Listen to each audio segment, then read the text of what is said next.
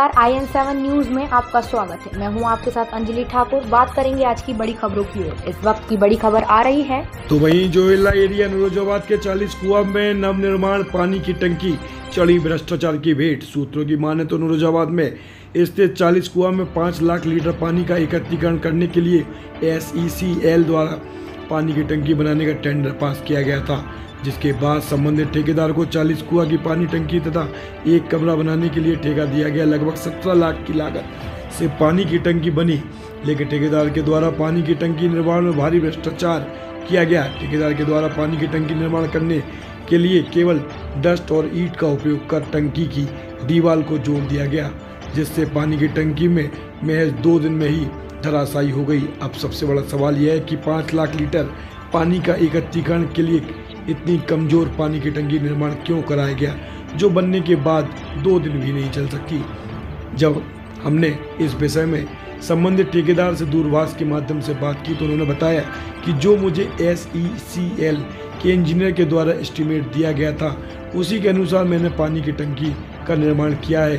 अब सवाल यह भी उठता है कि पाँच लाख लीटर पानी की एकत्रीकरण के लिए इतनी कमज़ोर टंकी का निर्माण क्यों कराया गया? जबकि नियम यह कहता है कि इतने भारी से पानी एकत्रीकरण के लिए आरसीसी से पानी का टंकी का निर्माण होना चाहिए था। लेकिन इन सब बातों से एस के उच्च पदों पर बैठे अधिकारियों का कोई तारुका नहीं। एस के प्रत्येक कामों में सभी अधिकारियों का अपना अपना जुगाड़ तय होता है। I N seven news Umaria से फैज मोहम्मद की रिपोर्ट। यहाँ आप किस पोस्ट पे हैं? Pump operator. ये जो टंकी बनी हुई है अभी हाल में ही दो दिन पहले कंप्लीट की गई है। ग्यारह ग्यारह तारीख तो ये कैसे टूट गई है? पानी भरने से। तो कब टूटी है टंकी? ये कल टूटी है छः बजे शाम कल छः बजे शाम में लगा। आपको कैसे पता चला कि टूटी है? जब मैं आज ड्यूटी आया तो लोगों द्वारा जानकारी हुई है टंकी तो टूटी है ही है।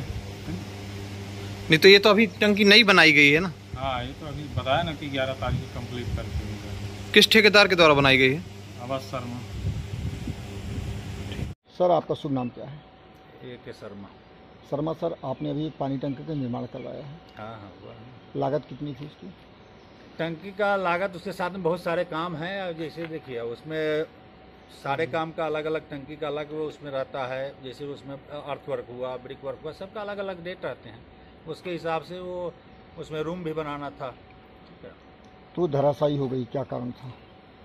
जितना ओवरलोड पड़ेगा तो धर- धराशायी होगा ही। उसमें राड बिल्कुल भी नहीं है सर। राड का आइटम नहीं था। ब्रिक वर्क करना था ब्रिक वर्क कर दिए। सिविल वालों की निगरानी में टंकी नहीं बनी थी क्या जो धराशायी हो गई? तो ऐसी टंक- देख सकते हैं क्वालिटी देख सकते हैं मेरा जाके देखिए। तो इतनी अच्छी दिखा देता हूँ वो उसमें कहीं भी अगर वो उसमें अगर वो ये मिक्सिंग में या मसाला में कहीं कोई कमी हो तो बता दीजिए आप चल के। तो इतनी अच्छी पास सर हैं? क्या कारण था उसकी धराशायी होने का? अरे ओवरलोड होगा आपके घर में टंकी बनती है नहीं देखते हैं। ईटा के टंकी का कितना लोड होना चाहिए बता दीजिए आप। तो इंजीनियर लोग की गलती जिन्होंने नक्शा पास वो मैं किया। नहीं बताऊँगा किसी गलती हमारे हमारे में जो काम था वो मैंने कर दिया बस। इसके अलावा मैं कुछ नहीं तो क्या सर इसकी पेमेंट हो गई आपकी? नहीं। करीब अभी तक में आप कितने का काम कर चुके हैं इसके? उसमें मैं काम ऑलमोस्ट पूरा कर चुका हूँ। करीब कितने का फिर भी लमसम? अब जितना आपका एस्टिमेटेड था वो तो कैलकुलेट होगा। जब आइटम वाइज उसका कैलकुलेशन होगा तब कैलकुलेट होगा। फाइनल अमाउंट आएगा। अभी तो मैंने काम कर दिया और उसका जो मेज़रमेंट आएगा उसके हिसाब से इसके अलावा और सर और कहाँ कहाँ काम आपने करवाए हैं? मैं कोई काम ना किया मेरा केवल एक ही काम आपने लगाया तो अब तक की बड़ी खबरों में बस इतना ही। आगे की खबरें देखने के लिए हमारे चैनल को सब्सक्राइब करने तक के लिए मुझे दीजिएगा इजाज़त।